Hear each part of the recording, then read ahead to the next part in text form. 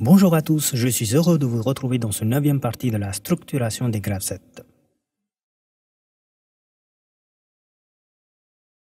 On va faire maintenant ensemble cet exercice d'application. Ceci est un exercice extrait de ma formation de BTS électrotechnique, source lycée Luarmont, auteur M. Gable ou M. Fuss. Ils sont professeurs d'électrotechnique. Alors cet exo, on a commencé à le faire dans la quatrième partie. Vous pourriez donc retrouver l'énoncé et l'explication dans cette partie 4. C'est le même exo, mais cette fois-ci, on demande de traduire ce graph classique par la méthode par encapsulation.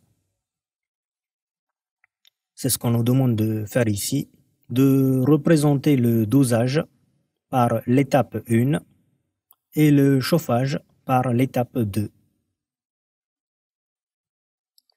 Pour ça, en bas, on nous donne un graphe déjà prêt à nous de compléter. Là, je me suis placé de façon à ce qu'on puisse voir l'ensemble. Bon, là, ça va aller vite puisqu'on a déjà vu ce système. Ok, dans la première transition, ici, on va marquer DCY et A0. Ça, c'est classique. J'appuie sur Départ cycle. Je rentre dans la première étape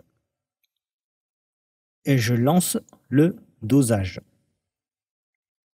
Ce nom, je vais le marquer ici. En haut, je vais marquer l'étape 1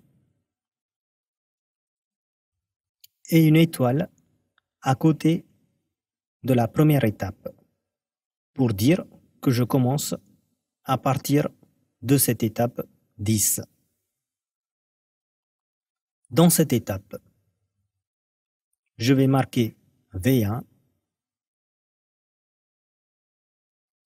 ensuite A1, puis V2, ensuite a2,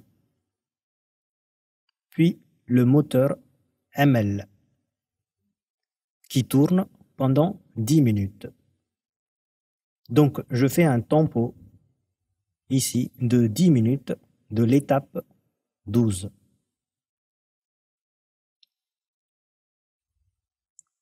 À la fin de ce tempo, j'arrive à l'étape de fin 13 et la tâche dosage est finie. Le graphe 7 mètres peut donc passer à l'étape suivante. Pour ça, je marque ici X13. Dans l'étape 2, on fait le vidange de la cuve A jusqu'à avoir A0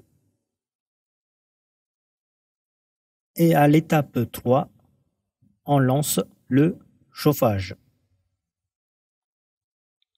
À côté, ici, je marque ce nom.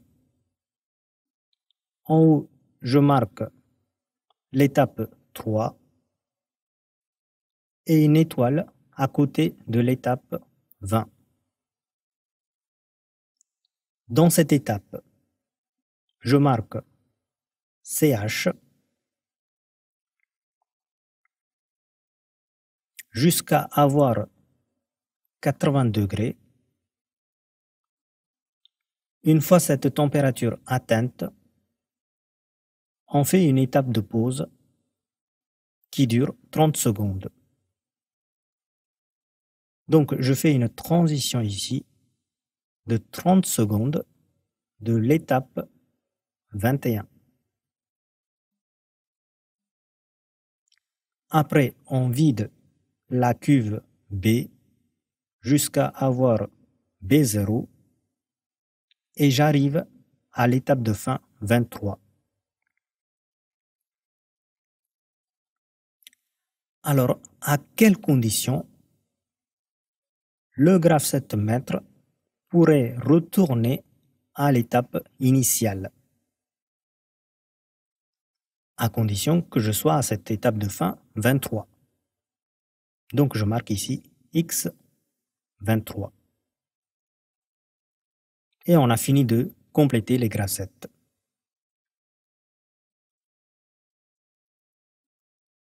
Alors pour résumer, qu'est-ce qu'on pourrait dire des étapes encapsulantes?